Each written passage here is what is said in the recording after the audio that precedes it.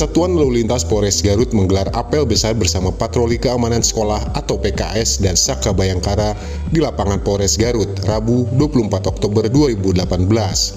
Wakapolres Garut, Kompol Gotam, sebagai inspektur upacara membacakan sambutan Kapolres Garut AKBP Budi Satria Wiguna yang mengajak para siswa untuk bekerja sama dalam mengedepankan kedisiplinan dan tidak terjerumus pada hal-hal yang tidak baik. Kapolres Garut berpesan agar para pegiat PKS menjadi contoh yang baik dan panutan di sekolah dengan cara mengamalkan ilmu dan selalu patuh pada aturan. Siswa yang belum memiliki surat izin mengemudi jangan menggunakan motor ke sekolah.